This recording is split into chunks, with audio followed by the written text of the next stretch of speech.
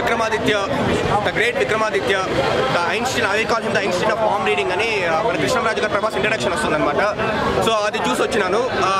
Production excellent bro Radhe Shyam movie ఎన్నో months నుంచి wait చేసి మొత్తానికి నేను చూసాను అనమాట రివ్యూ స్టార్ట్ చేసే ముందు ఒకే ఒక ప్రభాస్ గారు సూపర్ డైలాగ్ ఉంటుంది మూవీలో ఇంటర్వెల్ ముందు వస్తుంది అనమాట నేను షాక్ అయినా నేను ఆ డైలాగ్ నా డైలాగ్ చెప్పి నేను స్టార్ట్ చేస్తాను.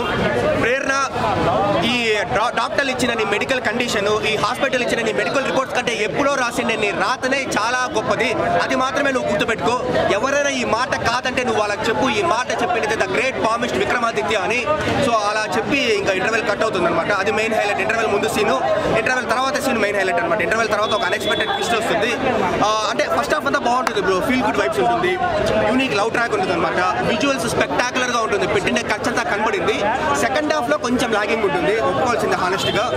కొంచెం లైక్ ఎలా అంటే ఆ షిప్ ఎపిసోడ్ ఇంకొంచెం బెటర్గా పెట్టింటే బాగుంటుంది నా పర్సనల్ ఫీలింగ్ అనమాట సో ఆ రెండు మాత్రమే పాజిటివ్స్ నెగిటివ్స్ ఇవ్వనమాట నెగిటివ్స్ ఆ రెండు మాత్రమే ఉన్నాయి బట్ ఓవరాల్ డెఫినెట్లీ ప్రభాస్ కోసం పూజా డే కోసం ఫీల్ కోసము మంచి మంచి డైలాగ్స్ ఉంటాయి. ఇప్పుడు జాతకాల గురించి చెప్తారనమాట ప్రభాస్ వచ్చేసి. సార్ మీరు జాతకం తెలుసుకొని మీరు ఏం చేస్తారు సార్? ఒకవేళ రేపు మంచి జరిగితే మాత్రం సర్ప్రైజ్ మిస్ అవుతారు. అదే రేపు చెడు జరగబోతుందని తెలిసింది అనుకోండి మీరు వచ్చే సచిలు హోప్స్ వదులుకుంటారు. అందరూ డైరీలో నిన్న ఏం జరిగింది వాళ్ళ పాస్ట్ రాసుకుంటారు. కానీ మన గ్రేట్ విక్రమాదిత్య మాత్రం ఫ్యూచర్ ఏం జరగబోతుందో డైరీలో రాస్తారనమాట సో ఇలాంటి డైలాగ్స్ కానీ రాజమౌళి గారి వాయిస్ ఓవర్ లాస్ట్లో కానీ సో డైలాగ్స్ బాగుంది మంచి ఫీల్ గుడ్ వర్క్స్ ఉన్నాయన్నమాట మూవీలో వచ్చేసి. మీకు ఒకే ఒక మాటలో చెప్పాలి అంటే ప్రేమకి విధికి మధ్య జరిగే యుద్ధమే Radhe Shyam the war between love and destiny is nothing కలలో కూడా కలవకూడని ఇద్దరు నిజ జీవితంలో కలిస్తే ఎలా జరగబోతుందో అది రాధేశ్యామ్ అనమాట సో వచ్చి చూడొచ్చు first half excellent second half కొంచెం స్లో ఉంది.